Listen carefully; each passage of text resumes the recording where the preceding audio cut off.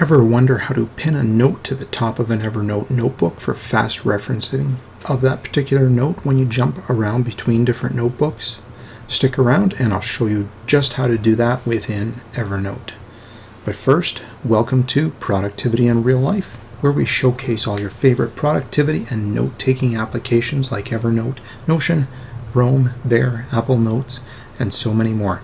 Not only are we going to touch on the basics of all these apps, but we'll dive deeper into using each of them effectively to make you as productive as possible.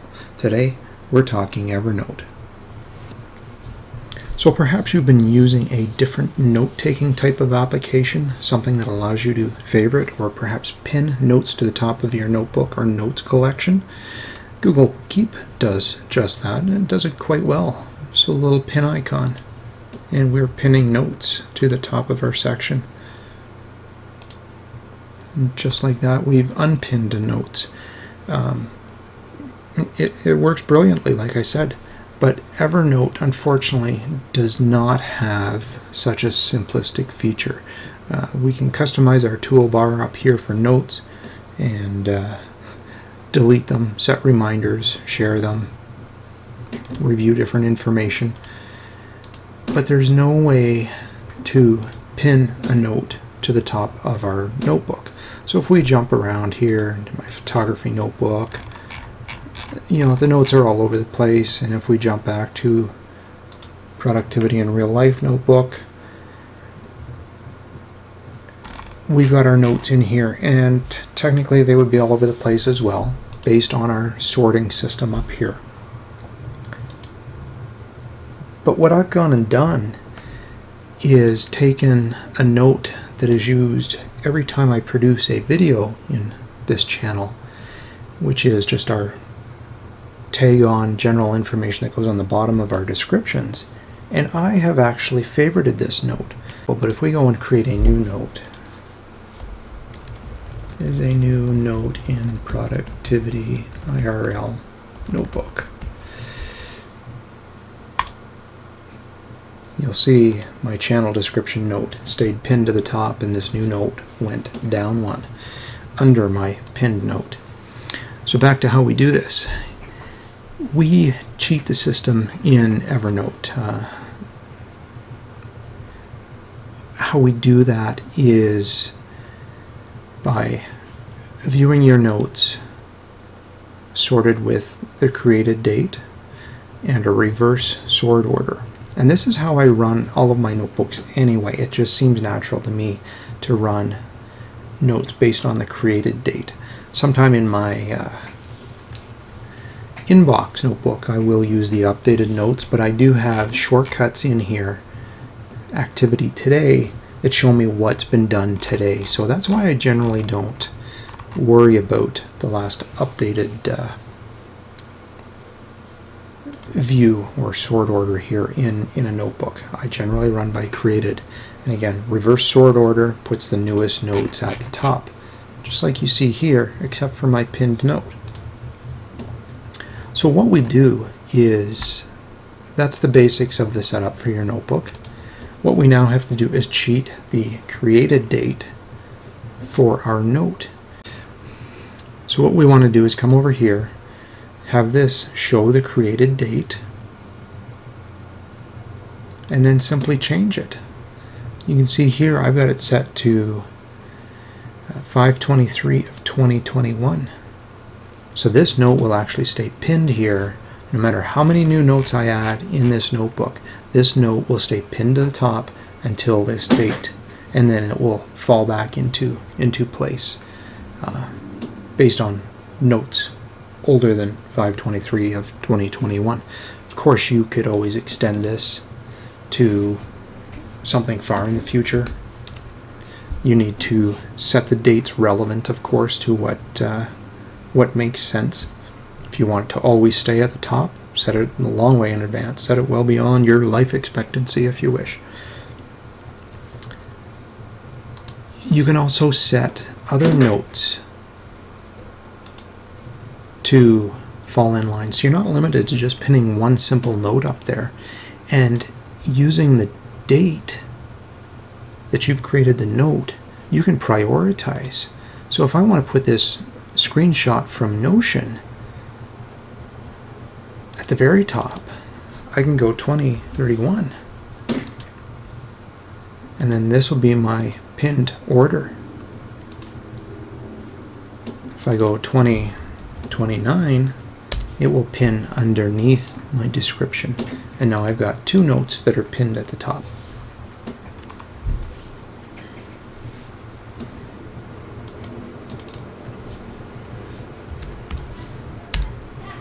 And we'll just put that back into its relevant positioning.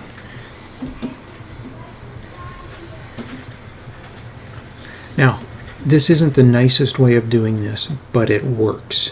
Uh, I say it's not the nicest way of doing it because it is messing with note metadata, which is, to me, it's important generally in having a created date. So what I could do perhaps is just start my note, and I do a lot of a lot of notes where I do need to concern myself with dates is I will put in um, the created date into the title, just like that. Um, this was the new note that I created just a few minutes ago, 2020-0704, and I will deal with notes like that, so then I could always sort on titles. Where did those go? down in here.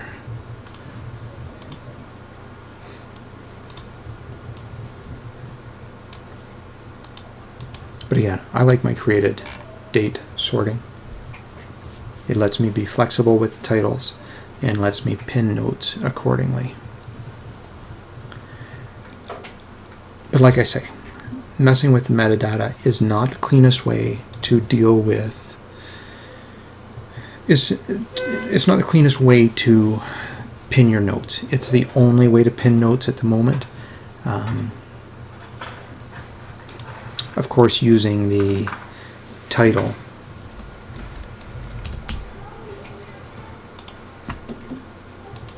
Just like so. We can also do that by sorting with the title. And here's our notes here. Now, this left bracket is messing with my sort order as opposed to the zeros in the titles here. But I think you get the idea. Is sorting by title, and you can create a sort order just like so based on the characters you start the note title with. We'll touch base on that as well because that's also quite handy. Uh, I use it for writing um, and creating chapters in, in books and reports. But for the most part, I stick with the created date on a reverse sort order, and I will put a note created into the future to pin a note. Now another way to pin notes is to use your shortcuts bar over on the left hand panel here, just like I've done. Uh, let me find an example for you. Project tasks, fitness challenge. Here's one that actually falls into a whole lot of different uh, categorizations and sorting based on the title. So when I view this notebook and sort by title, things fall into place. In this case, I've just got one note bookmarked or favorited in the shortcuts section, 401 Fitness Challenges. It's in here as a shortcut. So when I'm looking for my fitness challenge note, instead of finding my fitness notebook and looking for it in there and pinning it um, with the created date, I just have it over here under project tasks. 401 fitness challenge, one click brings me right to that. An alternative is a dashboard. Here's my dashboard here currently. A dashboard note is a great way to keep a favorite, keep all your favorite and commonly used notes pinned, or even groups of notes pinned for quick access as well. Basically, two clicks. One here on the shortcuts to get me to the dashboard, and let's just pick something here. Health. Two clicks gets me to my important health notes. It will get me to my health records. That would be three clicks. Gets me to all my current doctor items, my dentist reports, optometrist, optometrist history, my blood pressure logs. Uh, two to three clicks gets me to all of these important notes. But stay tuned.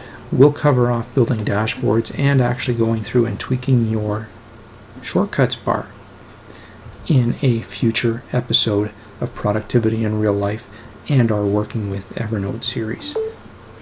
Thanks for watching. Be sure to like, subscribe, and of course, share this video if you found it useful.